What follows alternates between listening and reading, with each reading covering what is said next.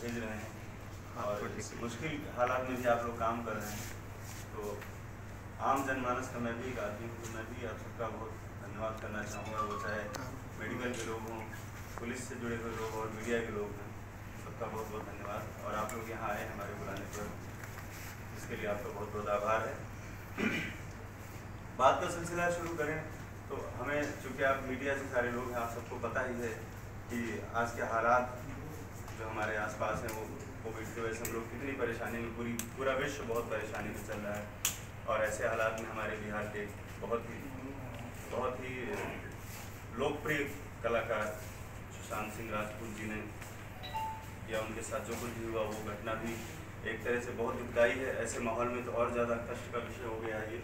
उनके परिवार के लिए भी और पूरे देश के लिए भी, क्योंकि उनके फॉलोअर्स भी बहुत थे, उनके चाहने वाले भी बहुत थे।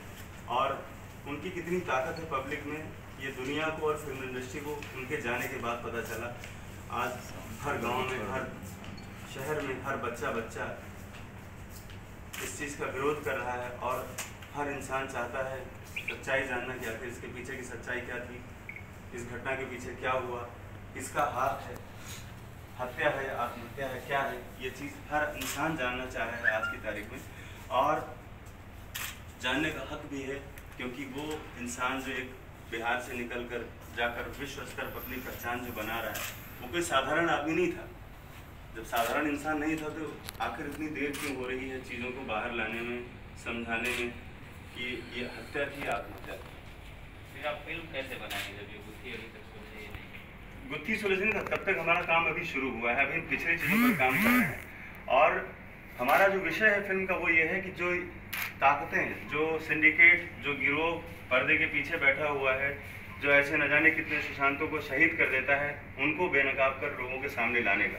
क्योंकि मैं खुद पिछले 25 सालों से फ़िल्म इंडस्ट्री में काम कर रहा हूँ, और ज़ाहिर सी बात है कि मेरे बहुत सारे भी ऐसे अनुभव रहे होंगे, मेरी खुद की अपनी ज़िंदगी के भी ऐसे अनुभव रहे होंगे, जहाँ पर मैं ऐसे किसी भी सिंडिकेट में घिरा हूँ, मैं खुद भी घिरा हूँ, मैं खुद भी शिकार रहा हूँ।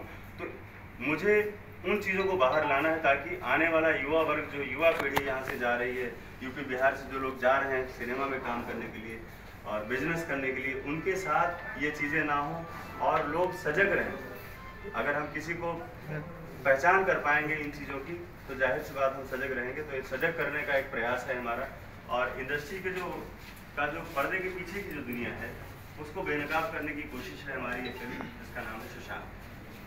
अब आप लोग अपने सवाल पूछ सकते हैं जो भी आप सवाल करना चाहें। बॉलीवुड में नेपोटिज्म को आप दिखाएँगे इस मूवी के जी हाँ बिल्कुल दिखाऊँगा और जी बिल्कुल दिखाऊँगा और बड़े निर्भीक तरीके से दिखाऊँगा।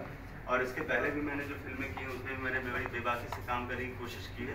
भले ही लोगों ने मेरे साथ वहाँ के सिंडिकेट ने मेरे साथ गलत किया हो धमकाया हो केसेस किए हो कुछ भी रहा हो लेकिन मेरा अपना एक मानना ये है कि मैं फ़िल्म इंडस्ट्री में गया हूँ आम आदमी की आवाज़ को बुलंद करने के लिए। मैं वहाँ पर अयाशी करने के लिए नहीं गया या वो लोग जैसा चाहते हैं वैसा सिनेमा में नहीं बनाऊँगा। मैं अपनी मर्ज़ी से सिनेमा बनाऊँगा। मैंने 25 साल जो स्ट्रगल किया है जो मेहनत की है उसका मतलब ये नहीं कि मैं किसी की गुलामी का शिकार हो जाऊँ स्टार कास्ट में भी बातचीत चल रही है क्योंकि बहुत रिसेंटली मामला हुआ है। सब चीज़ें अभी दो चार पाँच दिनों में ही हमारे साथ जो भी प्लानिंग हुई है जो हम लोग काम करना शुरू किए हैं।